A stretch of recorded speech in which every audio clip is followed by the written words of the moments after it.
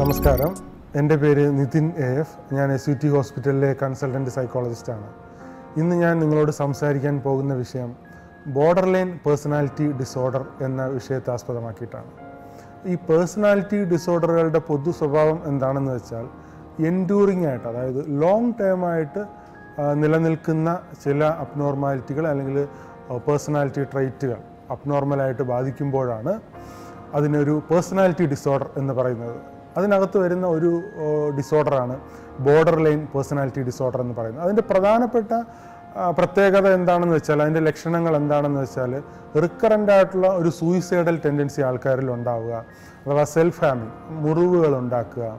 അതുപോലെ തന്നെ in instable ആയിട്ടുള്ള ഇന്റർ പേഴ്സണൽ റിലേഷൻഷിപ്പാണ് കുറച്ച് ദിവസം ഒരാളുടെ കൂടെ താമസിക്കുക അത് കഴിഞ്ഞ് വേറൊരാളുടെ കൂടെ താമസിക്കുക ഒളിച്ചോടുക എന്നൊക്കെ നമ്മൾ സാധാരണ പറയുന്നത് പോലെ ഇൻസ്റ്റെബിലിറ്റി റിലേഷൻഷിപ്പിനകത്ത് ഉണ്ടാകുന്ന ഒരു പ്രത്യേകതയും ഈ അസു ഈ ബുദ്ധിമുട്ടിനകത്ത് കാണുന്നുണ്ട്.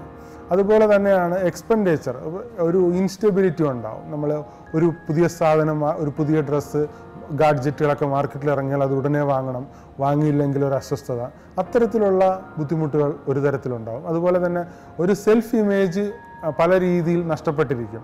ഒരു ആങ്കർ ഉണ്ടാവും ഇറിറ്റബിലിറ്റി ഉണ്ടാവും. ഇത്തരത്തിലുള്ള ബുദ്ധിമുട്ടുകളാണ് പ്രധാനമായും ഈ ബോർഡർ ലൈൻ പേഴ്സണാലിറ്റി ഡിസോർഡറിൽ ഉണ്ടാകുന്നത്. ഇത് സമൂഹത്തിൽ ഒരു ജനറൽ പോപ്പുലേഷനിൽ ഏതാണ്ട് ആറ് ശതമാനത്തോളം ബോർഡർ ലൈൻ പേഴ്സണാലിറ്റി ഉള്ള ആൾക്കാരുണ്ടെന്നാണ് ചില പഠനങ്ങൾ സൂചിപ്പിക്കുന്നത്. ഈ ബോർഡർ ലൈൻ ഡിസോർഡർ പ്രധാനമായും നമ്മൾ മാനേജ് ചെയ്യേണ്ട സൈഡ് നമ്മൾ ചിന്തിക്കുമ്പോൾ ഏറ്റവും ശ്രദ്ധിക്കേണ്ടുന്ന ഒരു കാര്യം എന്താണെന്ന് വെച്ചാൽ ഈ കൗമാരക്കാരിൽ ആണ് ഇത് കൂടുതലായിട്ടും ഉണ്ടാവുക. അപ്പോൾ അത് ഏജ് കൂടുന്നതനുസരിച്ച് കുറഞ്ഞു വരുന്നതായിട്ടാണ് കാണുന്നത്. അതായത് ഇപ്പോൾ ഈ ഒരു ടീനേജ് പ്രായത്തിലൊക്കെ അതുണ്ടാവുമെങ്കിലും യങ്ങർ ഏജിലേക്ക് വരുമ്പോൾ അല്ലെങ്കിൽ ഒരു മിഡിൽ യങ്ങർ സ്റ്റേജിലേക്കൊക്കെ വരുമ്പോൾ ഒരു മുപ്പത് വയസ്സൊക്കെ കഴിയുമ്പോൾ ഈ ബുദ്ധിമുട്ടുകൾ കുറഞ്ഞു വരുന്നതായിട്ട് കാണുന്നുണ്ട്. പക്ഷേ അതുവരെ ഈ വ്യക്തികളെ നമ്മൾ നിലനിർത്തിക്കൊണ്ട് പോവുക എന്നുള്ളതാണ് ഏറ്റവും പ്രധാനപ്പെട്ട കാര്യം. അപ്പോൾ ചിലർ പെട്ടെന്ന് സൂയിസൈഡ് ചെയ്ത് അല്ലെങ്കിൽ ചിലർ പെട്ടെന്ന് പലതരത്തിലുള്ള റിലേഷൻഷിപ്പിനകത്തേക്ക് ആയി പോകും. പിന്നെ കറക്റ്റ് ചെയ്യാൻ പറ്റാത്ത പല സാഹചര്യങ്ങളിലേക്കൊക്കെ പോകാറുണ്ട്. അപ്പോൾ നമ്മൾ ഏറ്റവും ശ്രദ്ധിക്കേണ്ടത് ഒരു സൈക്കോളജിസ്റ്റിന് അല്ലെങ്കിൽ ഒരു കൺസൾട്ടേഷൻ എടുക്കുക കൗൺസിലിങ്ങിന് വിധേയമാക്കുക എന്നുള്ളതാണ്. ചില സമയത്ത് സൈക്കാട്രിക് ഇന്റർവെൻഷൻസ് വേണ്ടിവരും. വലിയ രീതിയിലുള്ള ഇറിറ്റബിലിറ്റിയും ആങ്കർ മൂഡ് മാനേജ്മെന്റിനൊക്കെ വേണ്ടിയിട്ട്.